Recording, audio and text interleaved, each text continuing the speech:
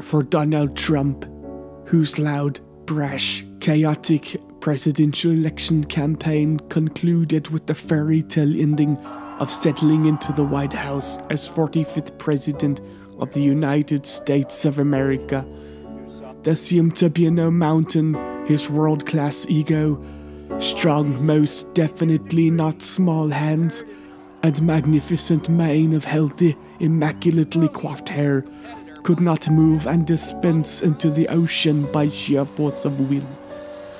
Unfortunately, even that which is surreal and absurd, like Trump in his election to the most powerful political office on earth, is in fact all too susceptible to the laws of political reality.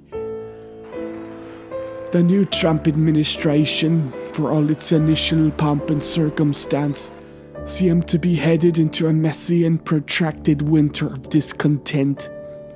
A political machine in disarray. Each passing day brings with it more chaos, more public scorn, more images of senior advisor Steve Bannon looking like a particularly vile and debased creature straight from the pages of a 19th century German children's fable. At the center of this maelstrom, a cavalcade of ridiculous characters vying for the opportunity to serve in Trump's cabinet. Chief among them are Rex Tillerson, candidate for Secretary of State, former CEO of ExxonMobil, and friend with Russian President Vladimir Putin, seen here showing off his baloney titten on horseback. Betsy DeVos, Trump's pick for Secretary of Education, a woman who has never seen the inside of a public school, yet would be responsible for running the nation's public education system. First of all, thank you um, for that question. Here she is seen Again, at her Senate pleased to meet you in confirmation your hearing office, uh, being week. rigorously Um, I I questioned by give you that Senator. Bernie I don't know. Sanders, I have heard who the is number was currently serving as. President of the United about States in an adjacent, far less shitty alternate family, reality. That's, that's possible.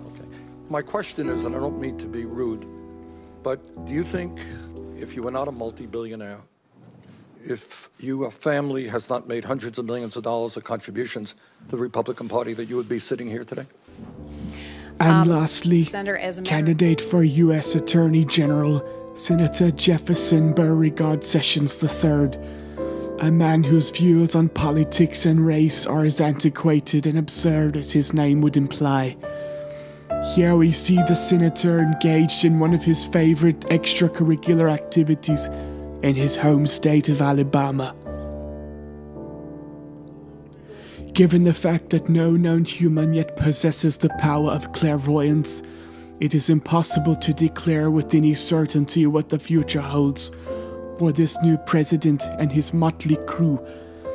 But if we take into account the events of the present, we can extrapolate from there a future that might be if current trends continue. In short, the outlook for the nation looks about as healthy as Steve Bannon's face on the front cover of this week's Time magazine.